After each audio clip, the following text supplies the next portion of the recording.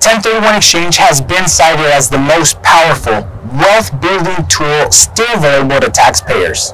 It has been a significant part of the success strategy of countless financial wizards and real estate gurus. A 1031 exchange allows a taxpayer to sell income, investments, or business property and replace it with a like-kind property and defer the taxes.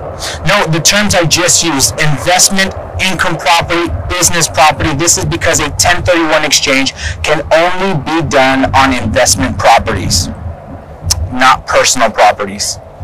Capital gains on property sales are deferred or postponed as long as the IRS rules are followed. It is a wise tax and investment strategy as well as an estate planning tool. In theory, an, an investor could continue deferring capital gains on investment properties until death, potentially avoiding them altogether. Real estate property held for business use or investment qualifies for a 1031 exchange. A personal residence does not allow and generally a fix and flip property also is not eligible because it fits into the category of the property being held for sale for sale. Vacation or second homes which are not held as rentals do not qualify for 1031 exchanges as well.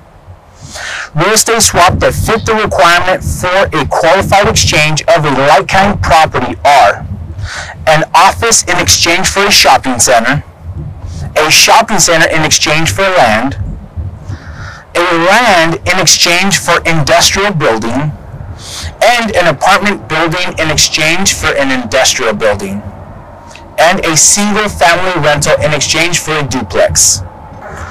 Once a person decides to do a 1031 exchange, they must either close on or identify in writing an offer on the potential replacement property within 45 days from the original property's closing and transfer.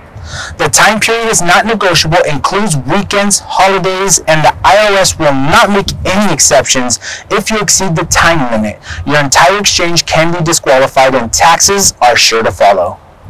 Three properties without regard to help to their fair market value any number of properties as long as their aggregate fair market value at the end of the identification period does not exceed 200% of the relinquished property's aggregate fair market value as of the transfer date.